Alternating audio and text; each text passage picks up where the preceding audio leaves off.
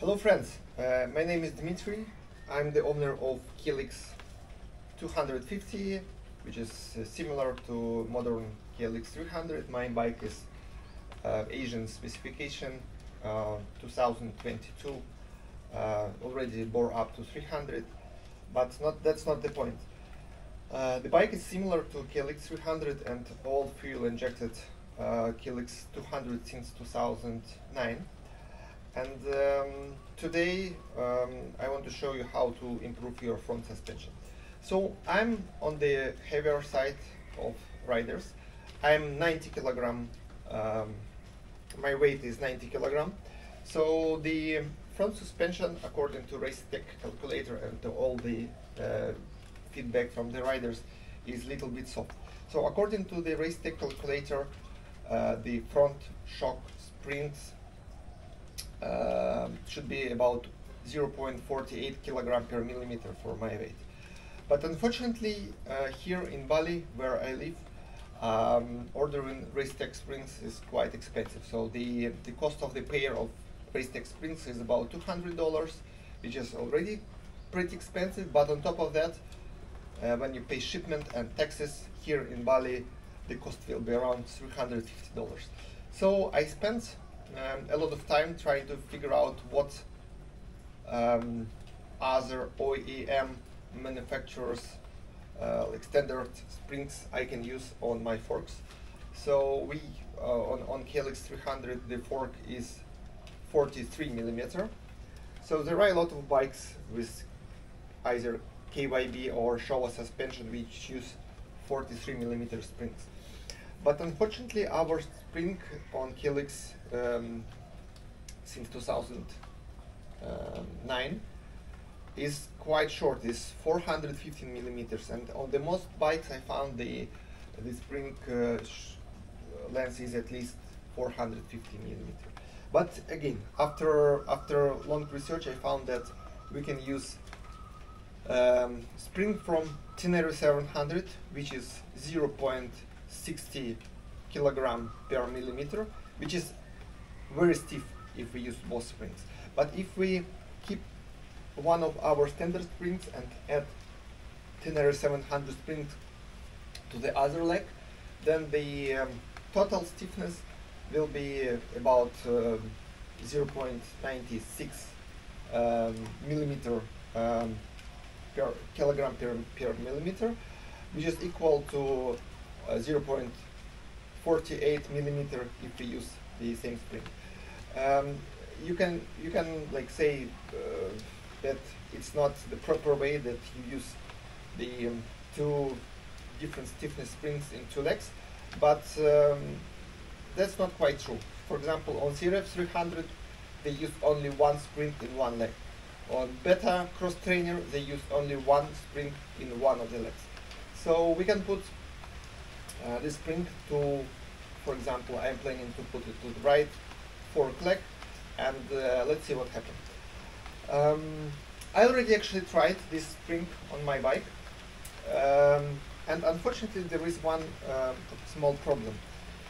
Um, the last coil, the diameter of the last coil, this one, um, is unfortunately is little bit uh, smaller compared to what we need. So in order to use this spring in our um, fork, we need at least 28 millimeter. Here the last coil is 27 millimeter. So the spring does not slide into the um, shaft, plastic shaft guide for our uh, piston rod in the shaft. And apart from that, this spring is about 10 millimeter longer than our stock KLX spring, which would be fine, you know, if it, uh, if we can use it, um, um, if the coil will fit. So it will be just a little bit more preload, uh, so you will feel the spring a little bit more stiff. But um, overall, like if you add one centimeter, 10 millimeter preload on, on the one fork leg, uh, it will be not that much harsh. But anyway, since uh, we need to modify the last coil, um, let us try to cut this oil and then finish the surface to make it flat. uh, from the both sides. Uh, and let's see what can happen. So I'm doing this first time. So be with me. Let's see what we can do um, to upgrade our front suspension on the budget. Yeah, by the way, uh, there is a part number for this spring. If someone interested uh, to, to make same thing, I will leave it in the comments. But yeah, feel free to use it. Couple of quick measurements before we start. Um, so as you can see, the length of this print is about 427 millimeter. It's a very nice weather for project.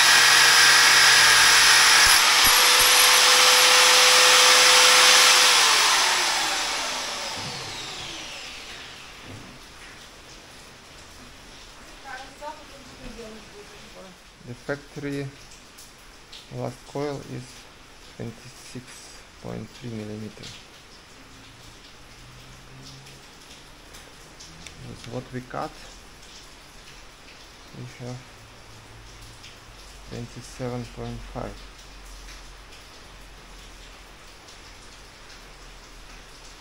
I hope this will be enough. The next thing we will need to do is to heat the last coil and then when it will be hot enough we will, be able to compress the spring and it will bend to the flat surface. At least that's what I've seen on YouTube. So let's see what we can do. It's it's getting red. So yeah, I hope everything will be fine and we will be able to bend it.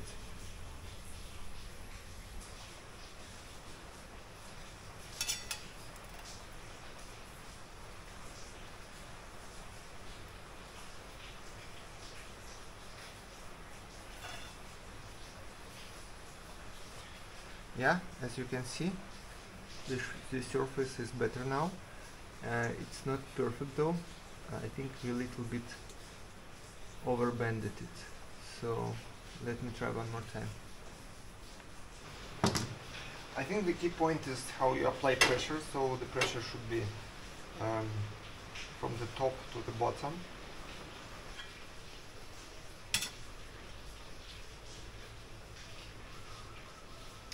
It's not yet perfect.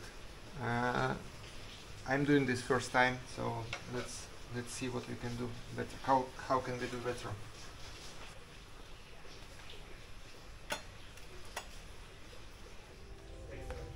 so what we do now is after we made a pretty flat surface uh, with heat we will polish it and make it more perfect with the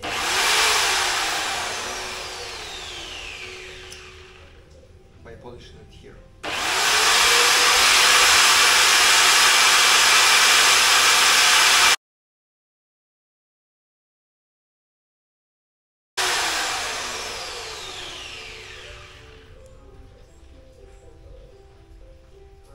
Surface is pretty flat.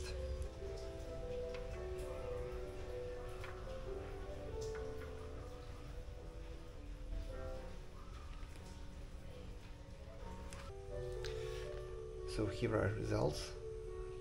Um, I cut from one side a little bit more than I wanted.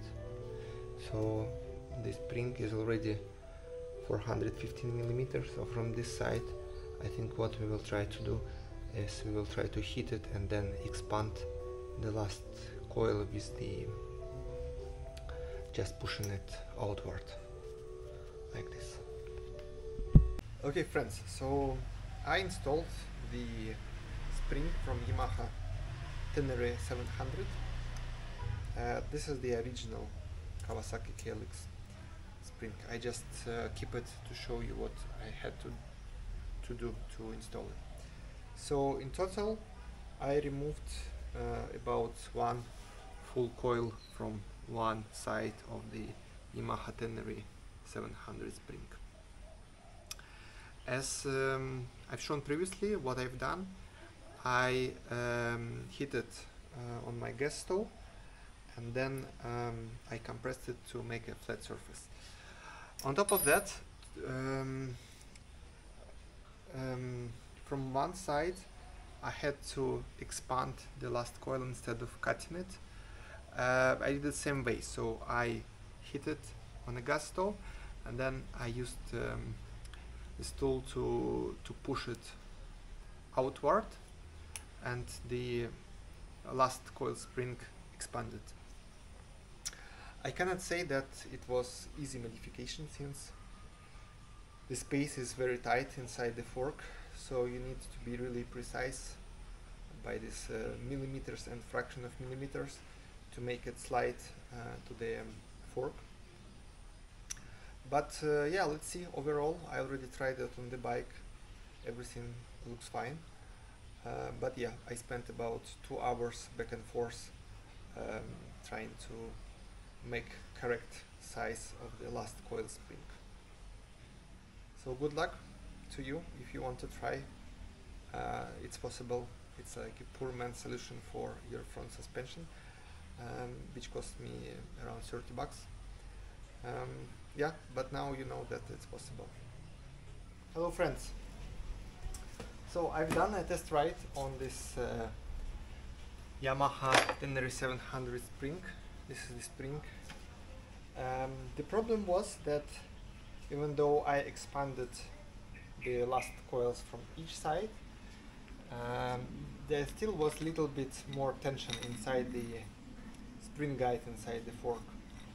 And uh, so sometimes when you compress the fork it does not immediately rebound when you compress it slowly. So I feel suspension could work better. So what I've done I took off this uh, spring guide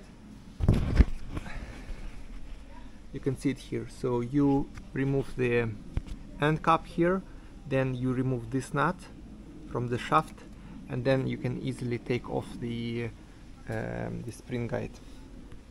And I machined it one millimeter and now uh, it it matches the size of the spring and can easily um, slide inside so I will install it and uh, um, I hope this time the suspension will work more smooth